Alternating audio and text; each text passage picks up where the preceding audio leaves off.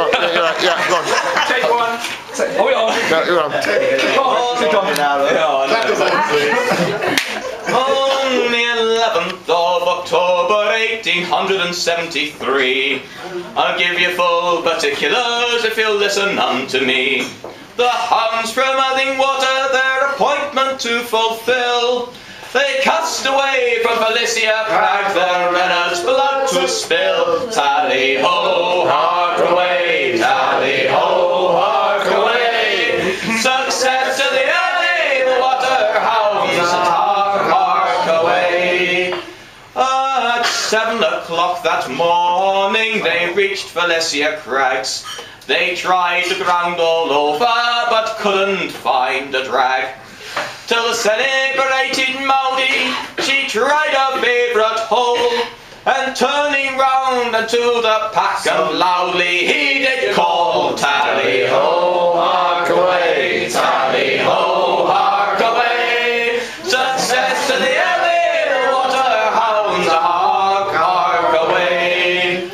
Oh, those hounds were caught together with speed, I do declare.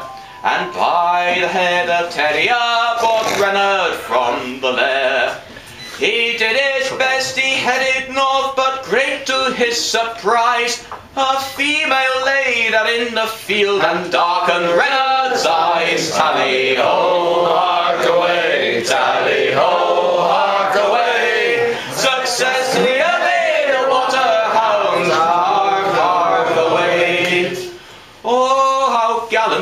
those dogs ran off, they took him to the spy.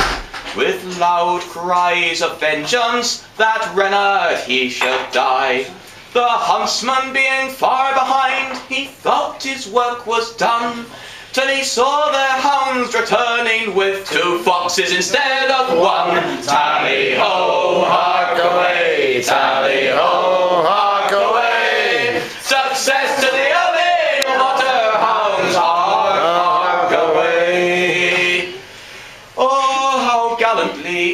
oh, th- those animals that did their best, their precious lives to save.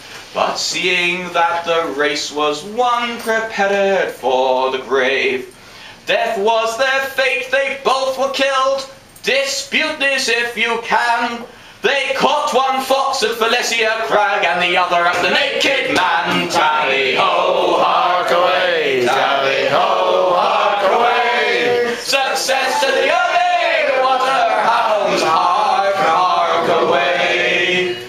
So we'll drink success to the Irthing lads. The, the We'll pass them. We'll pass the bottle round. oh, lofty fells and mosses, their melodious voices sound. Well known as they they are well known both far and near for the hunting of their hounds. From the western sea to the Tynemouth bar, no better can be found. Tally ho,